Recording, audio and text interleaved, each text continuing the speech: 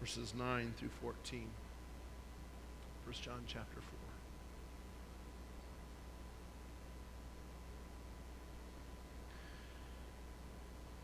In this, the love of God was made manifest among us. That God sent his only Son into the world so that we might live through him. And this is love.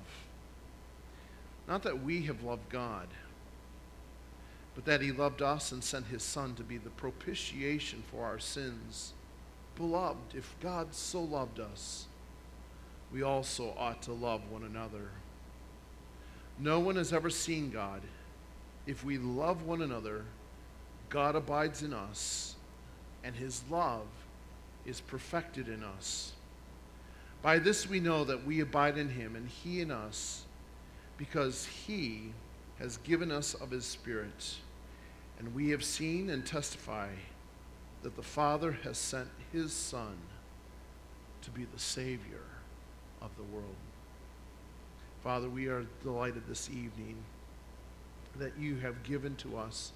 You sent your Son, Jesus Christ, to be our Savior, that he took on flesh for us, that he might be the one that would pay fully for our sins, that he would be the one that would give to us his righteousness, that we might be perfect in your sight.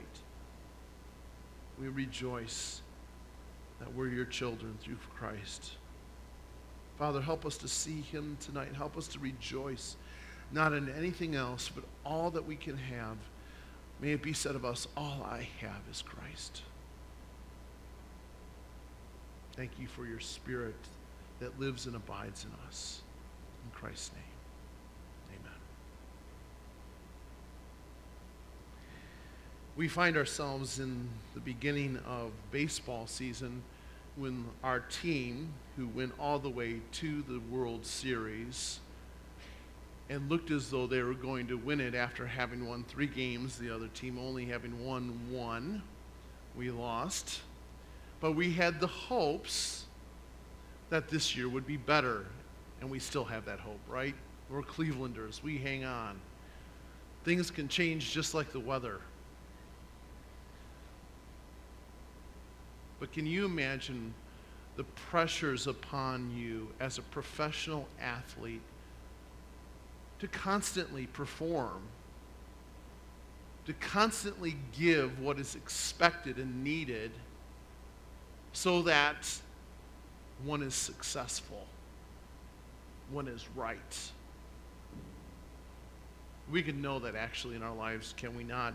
Not just those that are playing for a specific team like the Cleveland Indians, but we can know that kind of pressure even in our homes, in our jobs, where we seem that we cannot live up to the expectations around us. That's a nasty lifestyle if we really think about it. A, a lifestyle that says something like this Wow, I've been a pretty good person today. Everybody should be happy with me that stinks and rots of self justification. It stinks and rots of self deprecation when one doesn't live up to the expectations.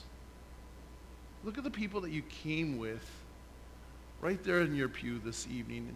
Can you look at one another and say, I know that I'm a sinner and I'm going to sin?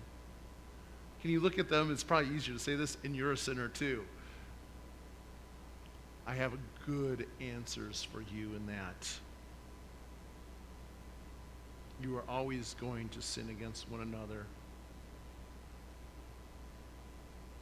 But there is one who has been given to us to forgive us of our sins, and he is a great and glorified Savior.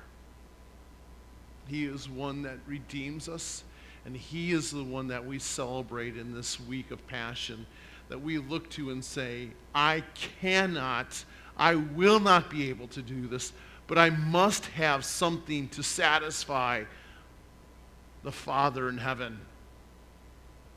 We read in our text here in 1 John, we've seen it in the other text, whether we've read from Paul's letter to Colossians or we've read from what Isaiah said in the Old Testament, or we read from John's gospel, we now see John, the beloved apostle, again saying to us, Listen, God's love has been made manifest amongst you. And you can know the love of God because he sent his only Son into the world. I have two things tonight that I want us to come away from this evening seeing and recognizing about Jesus. Number one, God's love is knowable because Jesus Christ came into the world. God's love is knowable because Jesus Christ came into the world. I want you to see in verse number 9 that it says, In this the love of God was made manifest, or in other words, it was presented. Just as you might put something on a big jumbotron at the Cleveland Indians, as Progressive Field has it on the board, you would see it and you would say, Now I see it, now I understand it. So Jesus has been broadcasting the love of God that we might know it. I want you to see two things about this love. Number one, it is a love so that, as it says in verse number nine, we might live through him. It is a love so that we might live through him. That's completely the opposite of our situation. Our situation apart from Christ is that we would die, but in him the love of God is known and we might live through him. Secondly, I want us to see in verse number 10 this love of God, not that we have loved God, but that He loved us. I want you to see that He sent the Son to die for us. God's love is noble through Jesus in this world, so that number one, we might live through Him, and number two, that He would die for us.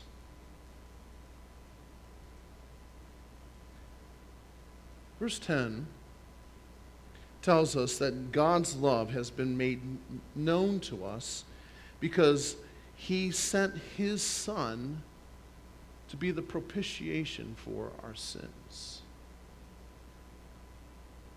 We've spoken of a team like the Indians. We don't even dare bring up the Browns, do we?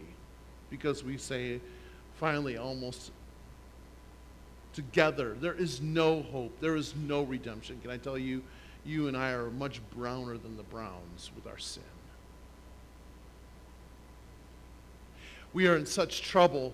The, the problem that we have is that we need someone to come into our place, to identify with us, to take our punishment, to take our place, and it seems like there's absolutely nothing that can be done for us until Jesus Christ comes and reveals the love of God for us. And it tells us here this important truth that he has been sent to be the propitiation, whereas the NIV says the atoning sacrifice for our sins. You know, we look at this text and we, we see this important truth. God's love is knowable. And we live in a day and age when love is thought of like this well, if God is love, then love is God. But that's not true, is it? Just think of a concept like grass. Well, grass is green, therefore green is grass. You go, no, that's absolutely not, not right. And here we begin to see God's love is contained and it is spelled out, it is defined by Jesus Christ Himself.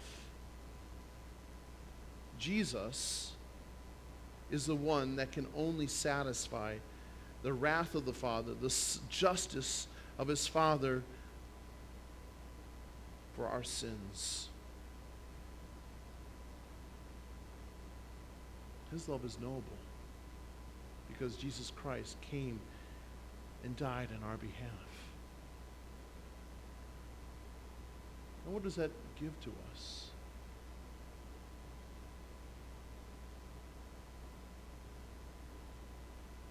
It gives you and me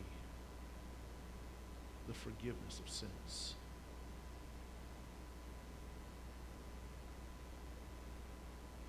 Let's say that you owed someone a million dollars and payment day came and there was no one to pay your debt. And then someone stepped in and said, I will pay that debt. That's what Christ has done. But he's done more than just pay the debt. He's not just forgiven us so that we have a clean slate, but then he's given to us what we miss as well the perfectness of life. See, you and I cannot maintain that perfectness, can we? You and I cannot quit sinning. You and I, as much as we try and make ourselves be good, the truth of the matter is, is we need someone to give his righteousness to us. We need someone to credit to us his wonderful perfectness, his obedience. And that's given to us in Jesus. Tonight, as we celebrate Good Friday and as we think about Christ's death on our behalf, we can know the love of God because Jesus Christ has made it knowable to us and that he gave his life for you and for me. And can I say to you and that you and I can know that we have been forgiven. I want you to see something else, secondly. It goes between our first point of God's love is noble because Jesus came into the world. I want you to see verses 11 and 12 that connect us. Beloved, if God so loved us, we also ought to love one another. No one has ever seen God. If we love one another, God abides in us, and his love is perfected in us.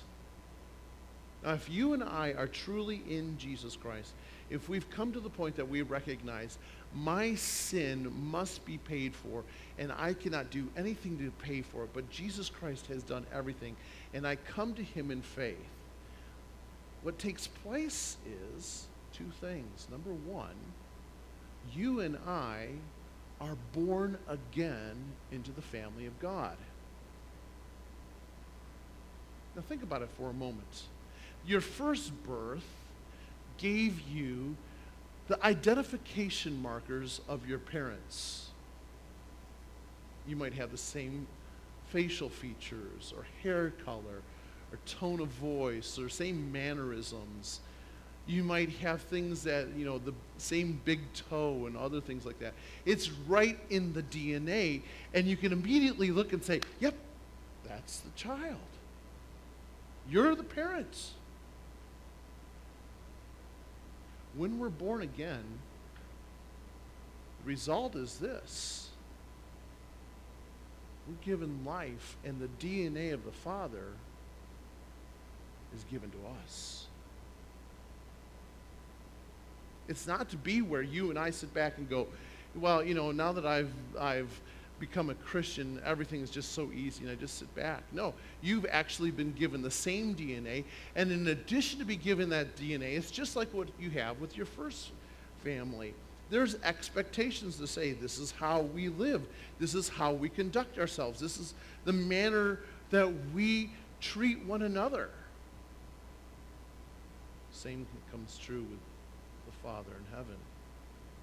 He's given us his image. He's given us the trademarks. And Jesus himself said as he was in the upper room with his disciples, By this shall all men know that you are my disciples, if you have love for one another. If the gospel truly has changed us, we need to see these two truths. Number one, we've been given new birth, we've been regenerated, and the life that we have is no longer ours, but Christ living in us. And the result of that is, is that He is abiding in us. We know Him and we're living through Him. There's going to be a change, there's going to be a transformation. You know what is so unfortunate at times? That some of the accusations of the world about Christians really do stick. You are just a bunch of hypocrites. You're anti homosexual. You're anti this. You don't believe in this. You hold to this. You hate people. You're phobics. All these other things, you know, and sometimes, unfortunately, we are not living the way that Christ would have us to live. It's unfortunate that there are times that people that are not Christians actually love better than us. Do you know what I'm talking about? They bear the image of God in some flawed way as well.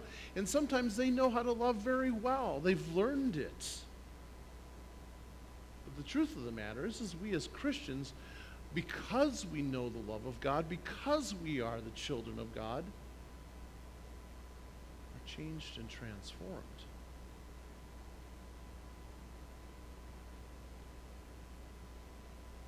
God's love is knowable because Jesus has come into the world and we know him and we abide in him. Secondly, would you look see with me in verse 13? God's love is knowable through his beloved, through his church, through his children. The way that the gospel is clearly demonstrated in the world around us is by the way that we abide in him and he in us. And the result is we have seen, we testify that he is the Savior of the world. He is a glorified Savior. He's a wonderful Savior. So the result of this is this. We no longer have to live on this treadmill of life.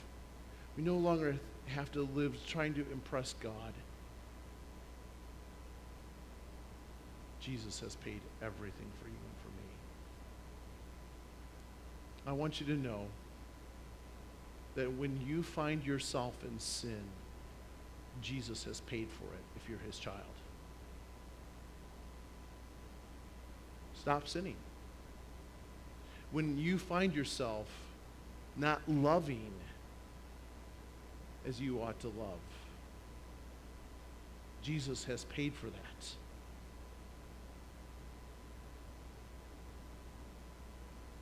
So rejoice that you are forgiven. Come to the point of recognizing there is nothing that you can do to earn any form of forgiveness from Him. Do you trust Him? Is He your Savior? If He is, you have become His child, and we live because He abides in us. He is the Savior of the world. Father, thank you so much that Jesus Christ has completely forgiven us of our sins and that we are the children of God by faith. Thank you, Jesus, that you have done everything to satisfy the Father, to pay for our sins, to atone for our sacrifices, to propitiate for us in our sins, that we might stand accepted and received and loved your Father's presence.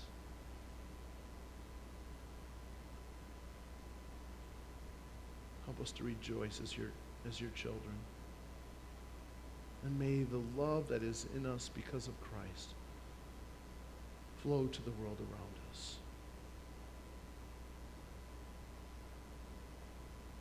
Thank you for this week that we can rejoice in a glorious Savior.